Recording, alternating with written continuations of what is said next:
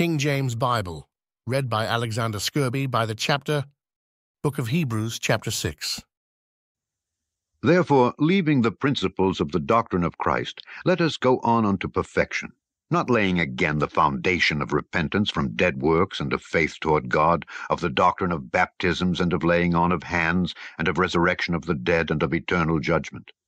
And this will we do, if God permit.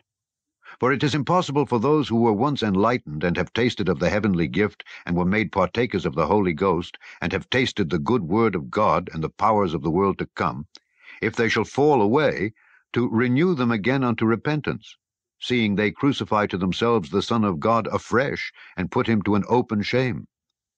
For the earth which drinketh in the rain that cometh oft upon it, and bringeth forth herbs meet for them by whom it is dressed, receiveth blessing from God. But that which beareth thorns and briers is rejected, and is nigh unto cursing, whose end is to be burned. But, beloved, we are persuaded better things of you, and things that accompany salvation, though we thus speak.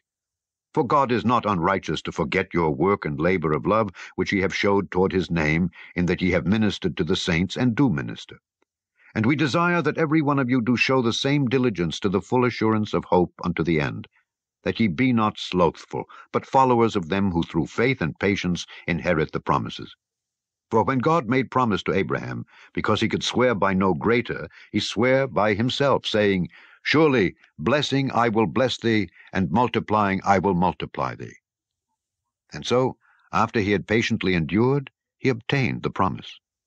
For men verily swear by the greater, and an oath for confirmation is to them an end of all strife wherein God, willing more abundantly to show unto the heirs of promise the immutability of his counsel, confirmed it by an oath, that by two immutable things, in which it was impossible for God to lie, we might have a strong consolation, who have fled for refuge to lay hold upon the hope set before us, which hope we have as an anchor of the soul, both sure and steadfast, and which entereth into that within the veil, whither the forerunner is for us entered, even Jesus, made an high priest forever after the order of Melchizedek.